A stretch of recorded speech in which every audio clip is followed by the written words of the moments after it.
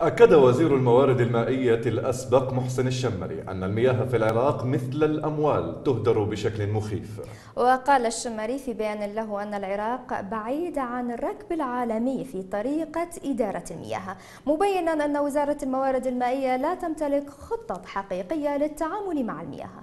وأضاف أن مليار دينار مرصود لمكافحة التصحر في العراق خلال 2019 تمت سرقتها بحسب قوله.